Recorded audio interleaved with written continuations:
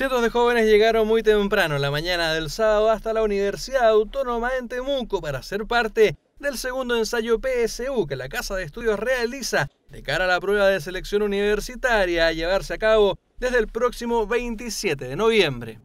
Absolutamente gratuito, es un servicio que se entrega a los estudiantes, ¿cierto? que también nos ayuda a la vinculación con el medio para que puedan conocer la universidad.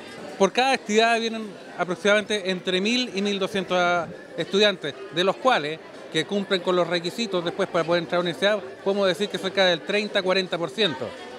Una instancia que los futuros universitarios destacaron por la oportunidad de practicar para esta importante prueba, puerta de entrada para su futuro profesional. Me parece excelente, una oportunidad eh, que se tiene que tomar, se tiene que aprovechar para los alumnos que no tienen facilidades para poder ensayar en esto y me parece muy bien eh, para poner a prueba nuestras actitudes, ver cómo estamos. Sí, buenísima opción, aparte está la carrera que me gusta, entonces súper bueno. ¿Qué vas a estudiar? Odontología. ¿Acá? Sí. Muy bien. O sea, esos son mis planes, pero va a depender de cómo me vaya en la PSU. Paralelamente, la Casa de Estudios organizó una feria para promocionar las distintas carreras que la sede de Temuco ofrece a sus futuros alumnos dando a conocer sus mallas curriculares y requisitos de inscripción.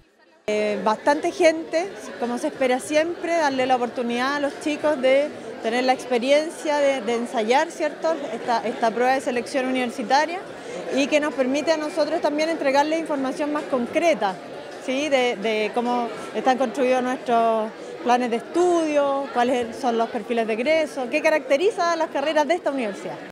El segundo ensayo PSU se realizará además el próximo 14 de octubre en Talca y el 21 del mismo mes en Santiago, ambos con inscripción gratuita y cupos limitados. Sin duda una herramienta que de la mano con los conocimientos propios adquiridos durante la etapa escolar marcará un antes y un después en el futuro académico de esta generación de jóvenes en nuestro país.